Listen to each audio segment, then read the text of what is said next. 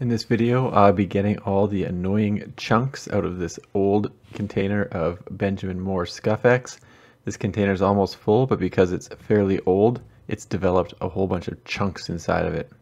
For this, you just need a hammer, I got some paper towel, need a couple extra empty paint cans, and the real thing that's important here is this french fry strainer that I found. Now this one is from, I don't know how to say this, P-Zazz, I guess is a 7 inch french fry strainer. I got it for $5.99 at HomeSense and I'll see if I can find it on Amazon and toss a link in the description but you can see it fits perfectly inside of that container. Now before I pour the paint in I'm going to give it a good shake to make sure that it's mixed up and I don't get some strange color combination and then I'm going to pour it straight into the basket.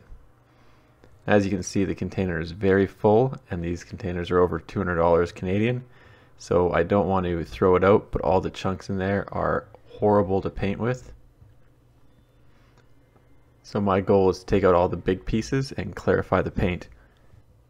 Using this deep frying basket, the mesh is wide enough that the paint goes straight through very quickly, but the holes are small enough that it catches almost all of the chunks. So you can see as it starts to clarify there, some of the chunks that are left behind.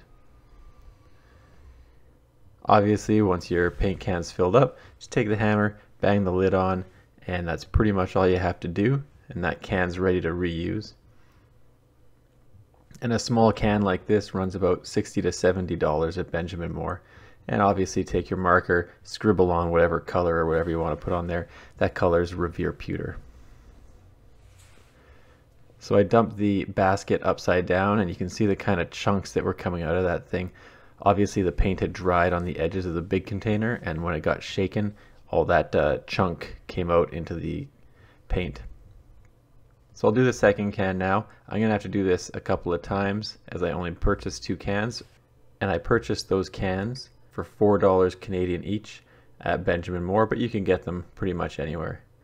Again, smack the lid on, write down the color, Revere pewter, and that can is also good for storage. And you can see all those chunks in there that got left behind.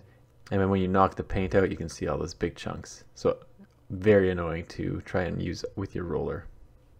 Anyway, thanks for checking out my video. Don't forget to like and subscribe.